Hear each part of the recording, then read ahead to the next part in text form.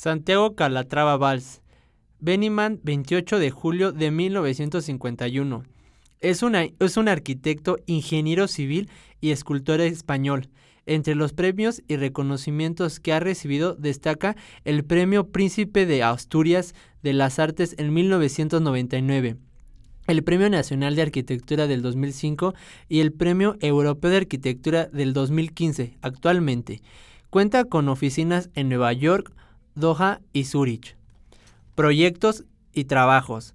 Desde los ocho años estudió en la Escuela de Bellas Artes, donde comenzó formalmente su preparación como dibujante y pintor.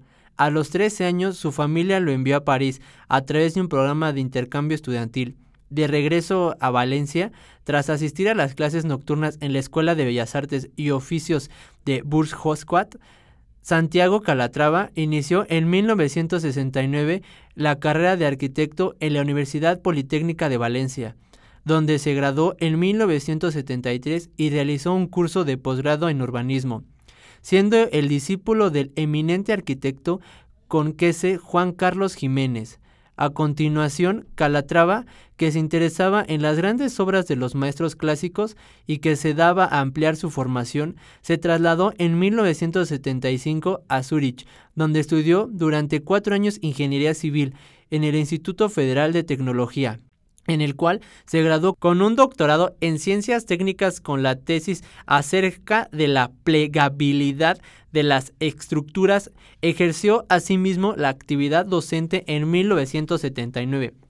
Finalizada la etapa de estudios, trabajó como profesor auxiliar en el Instituto Federal de la Tecnología, donde comenzó a aceptar pequeños encargos y participar también en concursos de nuevos proyectos. En 1983 le fue adjudicada la primera obra de cierta importancia, la estación del ferrocarril, situada junto al centro de Zurich, donde también había establecido su desempeño. Al año siguiente, Calatrava diseñó el puente PAC de Coda, en Barcelona, que fue el primero que empezó a darle cierto reconocimiento internacional. A este le seguían el puente Lusitania de Mérida en 1991, del Alamillo de Sevilla en 1992 y del puente de 9 de octubre en Valencia de 1995. En 1989, Calatrava abrió su segundo despacho en París, mientras estaba trabajando en el proyecto de la estación de ferrocarril del aeropuerto de Lyon. Dos años después, creó su tercer despacho, antes en Valencia, donde trabajaba en el proyecto de grandes dimensiones, a la ciudad de las artes y las ciencias. En 1992, Calatrava firma la torre de comunicación en Muntig, y uno de los puentes de la Exposición Universal de Sevilla, el puente amarillo que une la capital hispalense y la vecina localidad de Camas.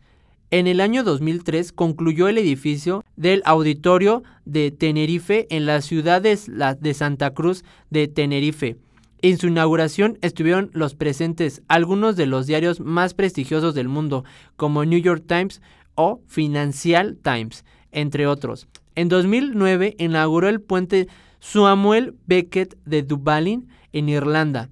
El puente Samuel Beckett es un puente atirantado que une Macken Street en el lado sur del río Life con Gould Street, North Wall Quay en la zona de los Docklands, Dublin. En el 2010 firma el edificio Roundhouse en la localidad de Sur, cantón de Araguao, en Suiza.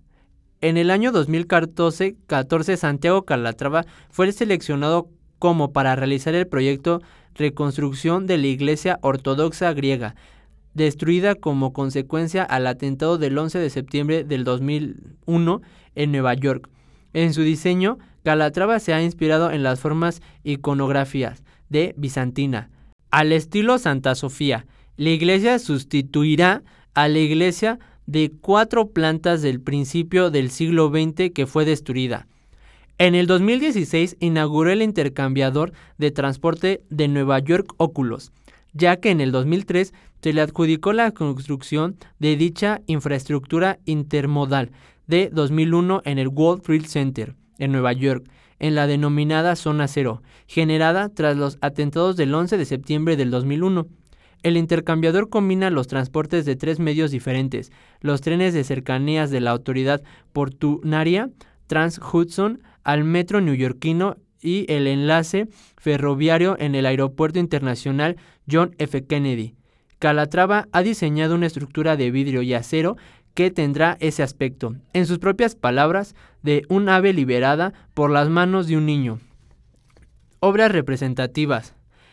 Puente de la Mujer en Buenos Aires, Argentina. Museo de las Ciencias de Príncipe Felipe. Palacios de las Artes Reina Sofía. Puente de Al Sud del Or.